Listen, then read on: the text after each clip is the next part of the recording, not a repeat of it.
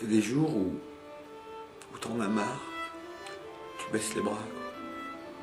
Et puis il y en a où alors vraiment t'as la pêche, t'es super content, Putain, ça c'est dynamique, c'est c'est génial, c'est du positif. C'est pas tous les jours quoi. Et des fois t'en as ras le bol. T'as envie de tout plaquer.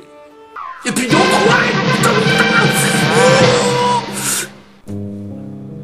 Mais ça c'est rare.